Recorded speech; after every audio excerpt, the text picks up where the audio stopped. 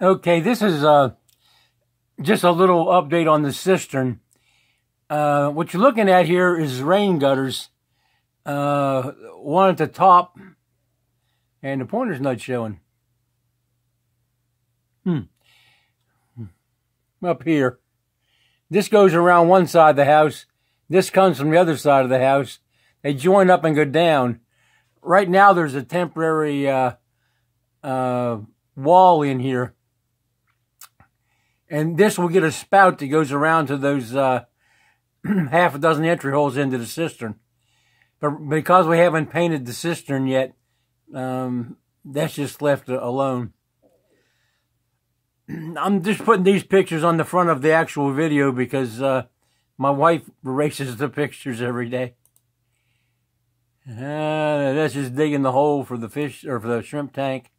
Another look at the uh, hole. I guess that dirt on the end is, is what they've loosened up up here, but haven't shoveled out of the hole. Th these are daily updates that they send us because we're not in the Philippines.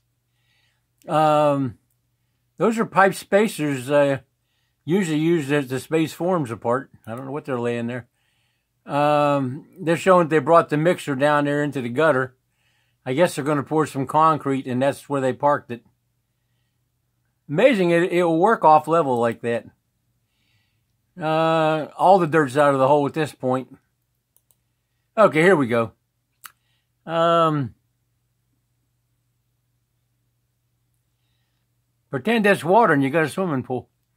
the blue stuff is uh, uh, that uh, tarpaulin fabric that they use for signage around the Philippines. They'll they'll run it through a machine and uh, uh, print on it. You, name of your business and you know uh, pictures and all kinds of stuff. Um, we use it uh, in place of polyethylene uh, sheeting underneath the concrete.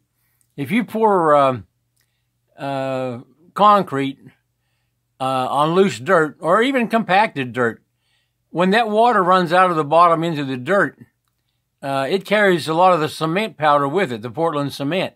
So your concrete is not as good. Also, it, it uh, changes the uh, water content bottom and top, and you get a lot of cracks in the cement that you would not normally have, even if you didn't water it and it wasn't windy and it wasn't 105 uh, degrees over here. So if you put a piece of plastic down, you just uh, keep what, what you mixed as what you mixed. Uh, it's cheap insurance. Uh, and also that not having the rough bottom is, is less uh, stress points it can, can run a crack from. Uh, you'll notice that the grid is fairly neat. The parts laying out on the on the uh, tarpaulin fabric. There's four pieces of it going left to right. But what we're going to look at here is the uh, form bars. Okay. Um, you can see that the grids, in, in this case, they're the same uh, eight and three quarter inches. Uh, well, you can't see that they're eight and three quarters, but they're the same uh, up and down and left and right. Both X and Y directions are are the same. um, on the right over here, you can't quite make out those notches, and I'm afraid to try to zoom this thing but there's actually notches in that board that they're sitting down over these rebars to space it. Uh, there's the notch bar uh, on the left over here. And you see they have the uh, the bent up ends in the notches, and that spaced them that way. They'll have another one on the right side. Okay, so the, in other words, you have one one going one direction and one going the other way, but there's even if you have unequal notches, if you're using uh, rectangles rather than squares, it's a real quick way to locate the bars without having to hold them. Now this is uh, not done yet. There's a little gray thing here, and there's one up there. Uh, there will be about a hundred of those on on this uh, this tank. What that does is this spaces up the rebars, the lower rebar, which is the ones going lengthwise on this case. Use your highest loaded rebars to go on the bottom because they're closer to the surface and they have a better leverage there. Anyway, uh, these what we call them biscuits. Uh, they're actually concrete trees. We make them out of a, a mold that's for uh, selling uh, strawberries and stuff in the supermarket. Just just bought a case of them, you know, and we've used them four or five times. You get one of those, uh, or you get a, a sack of those cheap plastic bags that they put stuff in at the at the vegetable market, and plus you probably have fifty of them uh, in, at the house from from things you bought in the past. But we just put the the little green uh, styrofoam thing in that, pour the concrete in it, and that way it doesn't stick, and you use them over and over and over again. And we've been using them for five years. There's a few of them. Here's another one over here. But they'll eventually. Uh, I told them to throw them out there just to keep the the, um, the plastic in place. You know, and also these things need to be raised up to tie them. It's a whole lot easier to, tie them when the, when they got a space on them to get the wire under. But you see, they've they've tied every joint here. There's tie wire in every joint, so they've they've managed to do it with it uh, flat. Maybe they'd like to be able to walk on it. I don't know. Uh, these holes are kind of small to, to put your foot down through to get it flat on the ground. So maybe it's easier for them just to, to force that tie under there and pull it up and wrap it. Uh, looks to me like there's about an inch and a quarter rise here. And a little low spot there. And I guess they're going to be that way. But instead of pouring this floor six inches, uh, I told them uh, a couple weeks ago we are going to pour it eight, and uh, six would be plenty. Five would be enough, because the uh, there's a footer, uh, you know, goes around and, um, you know, just just it's just a little overkill. There's plenty of bars in it. Um, even if it has an inch inch or inch and a quarter thin spot here, it be six and a quarter thick maybe. Oh, one, another thing we're going to look at here is these uh, these bars come over and then they bend up the wall. That ties the uh, walls to the floor. Now, sometimes you take, uh, we call them dog bones. It's a, uh, a rubber bar that's got uh, thin in the middle and the edges are wider. And a cross sectional area is about like a dog bone. And you would pour your wet cement and uh, do your first screed or your first float. And then you put this rubber down in there. And that encapsulates the bottom into the floor and when you pour your wall, it it's uh, gets it on the top, so it uh, makes a reasonably watertight seal. Um, I haven't bothered to look for that in the Philippines. It just seems like something that you wouldn't be able to find here. Look like it'd be a, a waste of tricycle time chasing it down. So we we just decided we're going to start doing this because we do a lot of slip forms, and that's what we're going to do on this. So these these will be right down the center of the wall, you know, all even and uh, the wall will be very well anchored to the floor. Uh, and that's another reason why the the thickness of this floor doesn't make much difference. I am kind of surprised that there's a that that rises in there. I don't think it's an optical illusion. I think it actually is in there. Could be, it could be the. A lot of times you have um, uh, cell phone camera pictures that uh, that make concrete beams look curved and stuff. It may be uh, uh, something to do with the uh, the photograph. See, I don't know, see if it. Yeah, it's flat on, on the on the side of her that, that wasn't before. I guess it's a camera aberration of the camera. Um, they've got uh, one bar uh, over here running down the side. That's just to keep those things upright. This one on the end, it has a uh, uh, two and a half or three foot overlap down here. In other words, it's, it's the exact same part as th- these ones in the floor. Uh, they'll just be uh, spaced like you've seen in all the other videos where we're doing slip forms. It's too close to the, together at the bottom, then they're uh, about nine inches apart, and then too close together at the uh, up at the four foot depth of the uh, of the form and then this, the next time your slip form goes up, the the continuation of this bar, you'd have two bars, uh, like an inch and a half above the uh, the starting surface, and then three inches, and then you you go back to the nine or so, and that goes up right till, till you get to the uh, seven and a half foot height, and then only every other one of these bars goes up. Because the, the, the, the, vertical bars will be cut at, uh, if it was 20 feet, they'd be 9 and 11. But the, the bars are uh, uh, 19 foot 6. So you can figure from there. But you want you want to have a piece sticking up that you can bend over and put into the floor or the ceiling or whatever, uh, just like a bent end on a bar.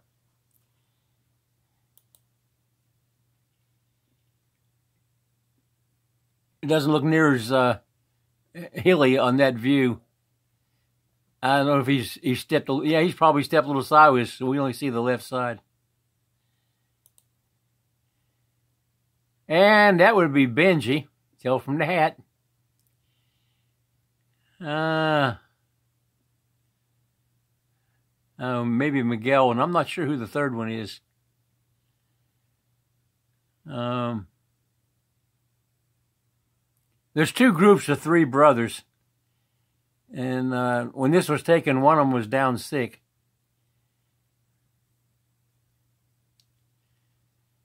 You know, I think these these bars that uh, uh, are actually curved to the left. That they the, the notched board that they had on it was probably pushed over.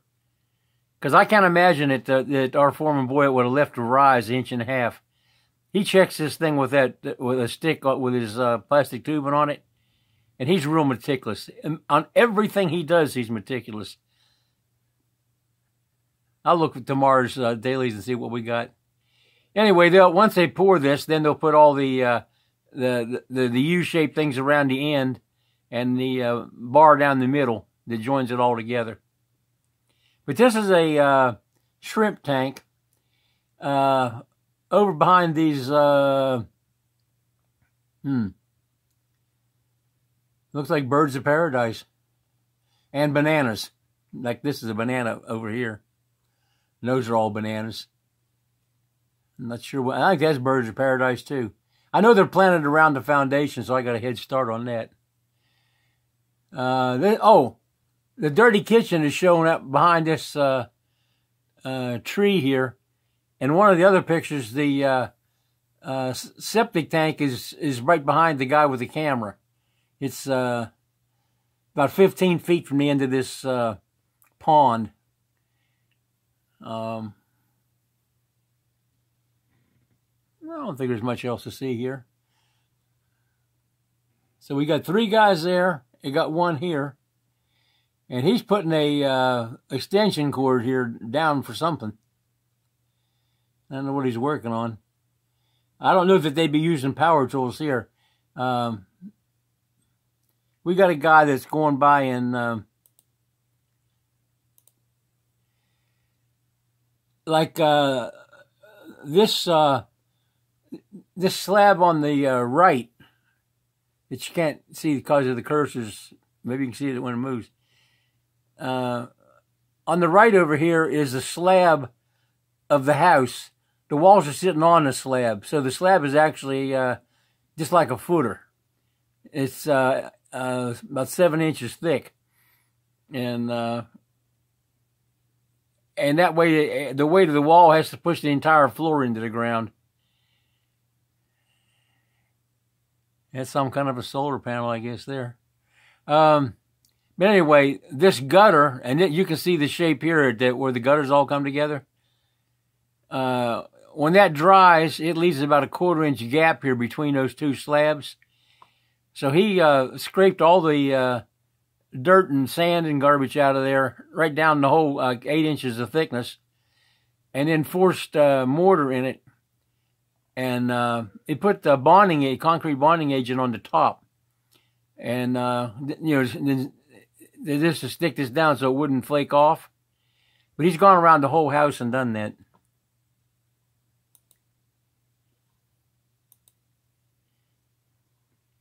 Probably don't have any more pictures of it. Oh, this spot here was where the, there was a uh, banana tree growing here and uh, so it, it uh, when when we dug the shoots up, they put this piece of concrete. They dug some more shoots up, and they got that section there, and it was a was a big hole in the middle with a banana still growing. So they finally harvested bananas off that and dug it up. So he's showing us that he's got got the uh, two gutters connected.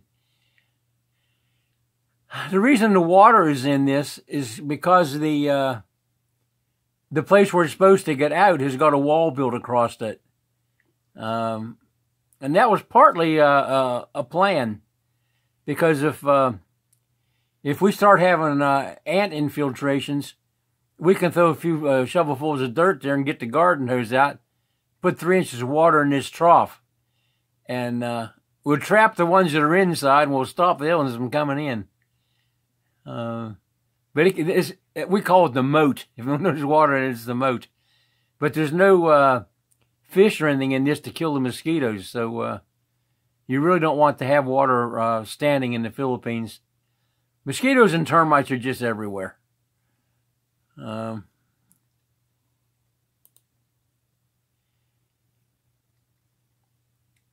this is uh, the last divider wall between section three and section four of the septic tank. And it as you they see this about uh, an inch and a half short of the uh, uh, top. That's because this is an overflow from part three to part four. All the other ones there's a transfer pipes. There's like three transfer pipes at the four foot height level, and that's how it maintains the water all at the same level. But when when the water level gets up uh, to this point, you don't want to have it above the uh, inlet pipe because then it could it could restrict the flow, slow it down, and and uh, you know drop out solid somewhere's up in the pipe when you slow the water up. So we you want to maintain your water uh, just below the uh, the bottom of the pipe and uh, so they'll put a, a, little bit of a rounded finish on this. We have a, a 25% airspace in the septic tank, uh, which is code. You can see the, the over here the top edge of the tank. Well, you could if my pointer showed up.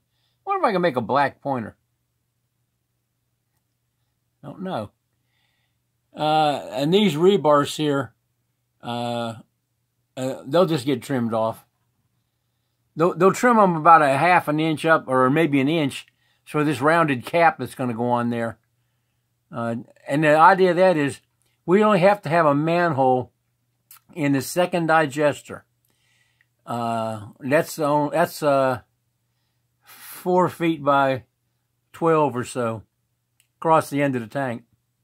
And uh, that's after all the, the, the the scum on the top and the sludge on the bottom in the, in the first digester.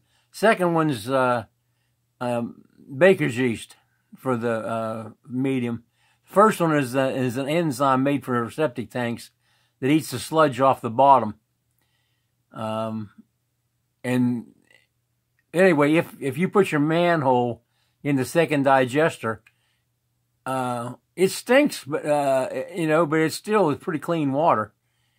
Uh, you still got to take a bath after you get in it, but you could get in there, or you could pump that out uh, near dry and get in there, and then use a little ladder, and you can look over these walls to see what's happening over there on the right over here on the uh, on the first digester, which is to the right of this this section, or into this uh, uh, parts uh, three or part four. I, I wouldn't think anybody would ever want to climb over that. It's only 14 inches high and four feet wide. So I don't think anybody's ever going to, 32 inches wide. I don't think anybody's want to get over there to do any work down in there, but at least you can look over the wall from a relatively clean place, see what's going on. Uh, and all except for the first digester, the rest of them really just look like water. There might be some brownish color to it, but uh,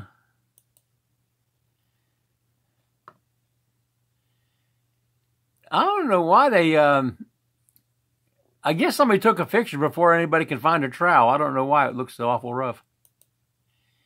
Uh, okay, you can see here we had a pretty big separation on this uh, concrete. That's probably uh, three quarters of an inch, and he's he's working his way around filling it up.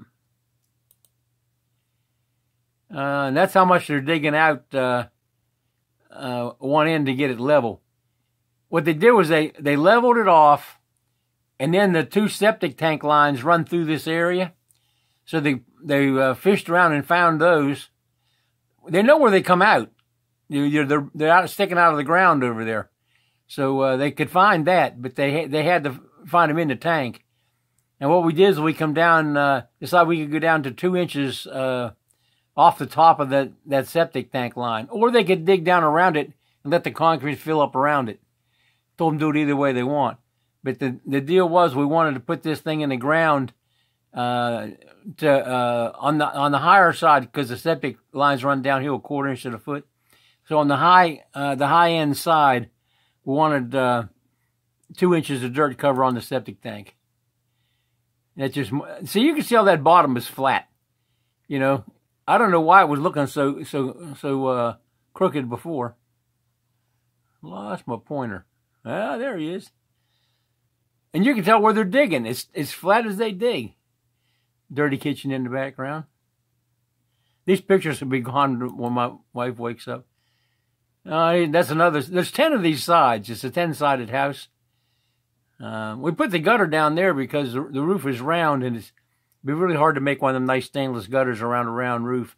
You'd have to be a weldment, and the pieces wouldn't be rectangular. They'd have uh, curves like a banana when you cut them out. I can make patterns for the pieces, but that's an awful lot of TIG welding. You know, days. Uh, and any water that lands on the side of the house or the ground on that area covered by this, uh, the width of this gutter, that just would be lost. And if we're going to try to keep uh, uh, 160,000 gallons of water in these tanks, eh, we need to collect all we can. In the time that they have been, well, we stopped for a couple, three or four days but they've been working on this about a week.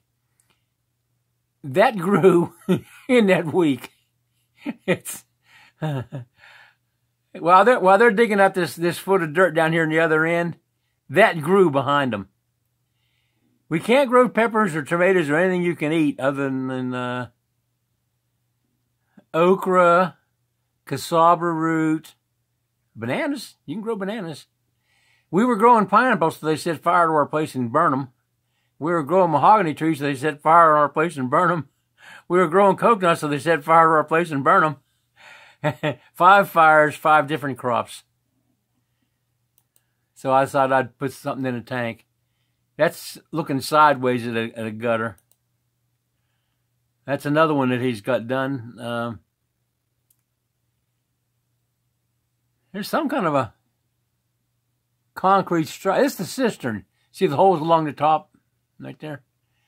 So that's the water cistern. And, you know, any of those things, there's, there's pictures of them, videos. Okay, but all we really wanted to do was uh, uh, look at the uh, the ends. Oh, these these are thrown over on their side because they're going to uh, back the concrete mixer down in here to the other end, so they can fill. You know, make uh, a couple three mixes and dump them all to the right, make another three mixes and dump them off to the left. You know, the mixer will dump either side, and then they'll they'll pull ahead a little bit. And uh, right now they've got uh, 500 bags of sand and, and gravel, two and three, you know, two rows and three rows, running down this tank, and they'll be using them as they as they come. But the idea is, uh, um, they want them handy to the mixer. And there's uh, three barrels of water filled up and staged on uh, in there on the rebar right now. They think they can pour that floor eight inches thick in a day. I'm having them make a, a uh, notch board to head it off so they can not have to pour it all in one day. I think it's uh, abusive on the people as hot as it is. And it's right out in the sun. And we're working a, a short crew this uh, this couple weeks uh, we had uh, two of them uh, were standing around with no mask on, and the barangay police came in there and said, "Hey, how come you haven't got a mask on?" And they sent him home. So I don't know if they're going to be 20 days in their house or what. There's three people with um, COVID over there in, the, in that uh, community across the street. Oh, well, there's three people that are waiting to bury. I don't know uh, how many. Anyway, anybody that's uh, a friend or a neighbor they're all on uh, self quarantine in their houses for, I think it's 20 days. It's sort of a punishment thing. It would have been 14 days if they was wearing their mask, but because they weren't wearing their mask, they run it to 20. And uh, they'll either starve to death in 20 days or they'll learn their lesson, maybe. And I noticed that I didn't see masks on these guys in the pictures. So I imagine uh, Aurora's going to be talking to him tomorrow. Okay. Uh, oh, I uh, stuck a video up if uh, anybody might have seen it. It's about uh, solar electric, how to mount the panels. Uh, we had some special concerns on ours because of uh, typhoons blow through here. I know they call a lot of these tropical storms typhoons. It's, it's because people get their information from Facebook rather than the Philippine weather stations because it has to be 75 miles an hour in the U.S. and the same equivalent in meters per second in the Philippines, same number. And there's three uh, three stages, but a stage one hurricane uh, or stage it would be signal three here would be stage one hurricane in the states, and they go to stage five in the states, and they go to from three, two, or one here. Volcanoes have the have a similar rating. But this property is uh, uh, an island out in the middle of the Pacific, Luzon, and uh, tropical storms are bad enough, but uh, typhoons do blow through the Philippines, real serious typhoons. So that if if that could get hold of your panels, you just scatter them through the hillside. And also, the, they keep setting our place on fire. And uh, wants to uh, make smoke to, to steal honey from the bees and a couple kids smoking cigarettes, collecting spiders to fight. Uh, just one thing after another. It just never seems to end. But we've had uh, five major fires just turned the place black. So right now I'm covering big chunks of it with concrete. You know, being the crazy foreigner, I guess. Man, there's some there's some nice black dirt down here on this end. I could garden with that. That's some really nice looking dirt. I'm gonna have to excavate some some hillside here and get to that. Okay. Anyway, uh, this is the thing about the progress on uh, the number one shrimp tank. The other one is dug already and flattened. All it needs is the uh, rebar and porcelain concrete. All it needs, yes. Okay, so uh, y'all have a nice day. Say a little prayer for us. Uh, you can click like if you want to, but we're not a monetized channel, and they we don't make it onto recommended uh, video lists because we're such a pathetic little unwatched channel. if the longest time, uh, our, our, high on subscribers was 11, but uh, the last few weeks has gone up. I don't know how or how or why. We don't do use any of those um, fake programs that uh, put down some kind of little four or five letters and and a, and a channel name. People sell lists of those to to boost your subscriber base and your views. Uh, I don't know. Uh, you you've got to be half crazy to, to get into this stuff that enough that you would pay somebody for a fake list of names. You know, I guess it's something like when they they have dead people vote in the U.S. elections. You can buy a list. Anyway, this was rebar, uh, and and I thought it was a real good uh, show and notch bo- boards in use. I don't know if oh these notch boards, uh, there'll be a, a, set of notches on at least two faces. And you can't put it on all four faces because some of them are going to line up and it ends up with something an inch thick in the middle and they just break in two. But uh, you, you the the boards have been around since uh, we started construction. We used them on the original floor, uh, and that's why we have multiple configurations. Also, use these to make beams. Uh, they're laid across some sawhorses with all the stirrups, uh, you know, in between, and then you just drop a stirrup in each notch, and um, you bring a rebar in and lay it in the bottom, and gravity makes it straight up and down pretty much and after you get one bar on, you just shove all of them in from the end and uh, tie them up. But we tied uh, all the beams in the house, and that's why you see like like over here you see uh, uh, several uh, notches close together because that would have been the end of a beam. Uh, I don't know. Maybe this right here would be the, is, is two separate notch boards. Maybe here they come apart right. Well, you can't see it because it's not in the camera. Uh, it looks like there's two different sizes, of shapes of wood right there. So that's probably the end, and this was probably the uh, the extra stirrups uh, for the end of the beam. But it's a real easy, fast way to do it. Uh, Aurora tied all the uh, wall rebar for the entire first floor in uh, two days. And that was cutting it to, uh, to length, uh, having it square. She painted a, a rectangle, white rectangle on the floor. And she had a pattern for the uh, shape of the round windows because you had to cut all the bars out for the window shape. And then they, they, they roll a bar to go around the window about an inch and a half into the concrete.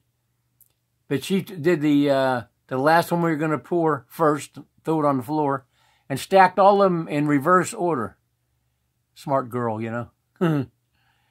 but uh, in two days, we we had two things accomplished. The rebars were ready to put up. We didn't have to do it when we're setting walls. That way, we could do two uh, 24 foot sections a week. If we didn't do other things and, and stop them all the time, but if we were just intent on pouring walls and building the house, we'd done two a week. We did several times, you know. It was 36 pours. So, uh, uh, anyway, notch boards is, is highly recommended. And it's coco lumber. And we store them in the dry, so that's the same ones we've always had. Okay, this video has uh, uh, gone longer than whatever. I think uh, I think that's the reason why the channel's so unpopular uh, eight minute videos uh, are really popular. If you're trying to grow a channel, keep your videos at uh, below nine minutes.